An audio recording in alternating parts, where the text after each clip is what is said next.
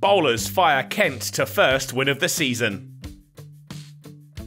For the overwhelming majority of day three at the Spitfire ground, it looked for all the world like these two would share the spoils, until a quick blast led by four wickets from Jacob Duffy on debut tore through the visitors to leave them 37 for 5 heading into day four. Kent just five more wickets away from their first win of the season.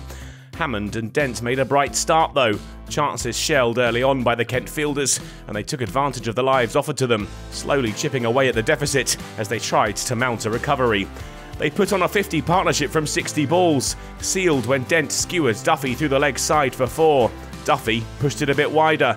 Dent flashed the other way to the next ball, and after a juggle in the slips, Billings pouched the catch. Dent gone for 32. The Kent bowler had sealed his five wicket bag.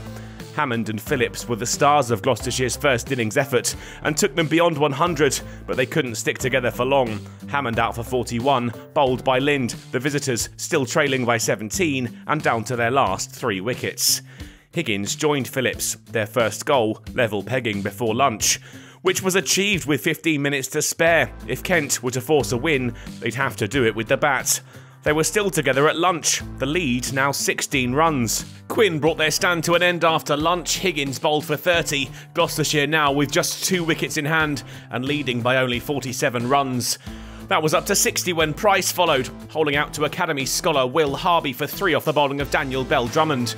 Phillips was Gloucestershire's last faint hope of salvaging something, and he was doing the job he needed to, up to 50 with four off Linde, the visitors beyond 200 in the process. He was farming the strike effectively too, Gohar not required to face too many deliveries. Kent held off for the time being. But Phillips fell just before tea, out for 59, caught by Cox at slip. Gloucestershire all out for 213, the target for Kent just 88.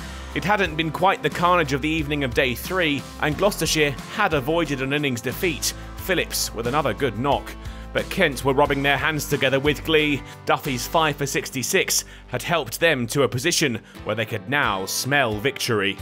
Robinson got them off to a quick start, the required runs dipping down towards 50 with early boundaries. Gohar ensured it was just a cameo. Hammond with the catch. Robinson out for 22. Not that it would make much difference to the match situation.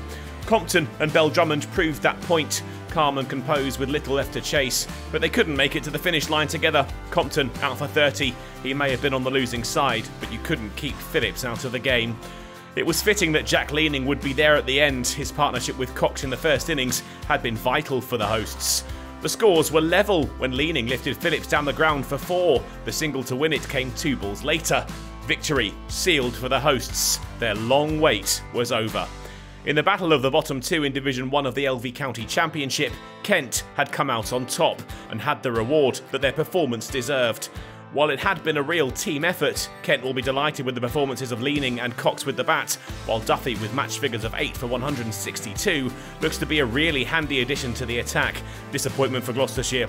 Phillips' excellent match counted for little in the grand scheme of things. Kent have the tricky task of facing Surrey at the Kia Oval in two weeks' time, while Gloucestershire's hunt for a win goes on. Lancashire the visitors to the SEAT Unique Stadium in Bristol.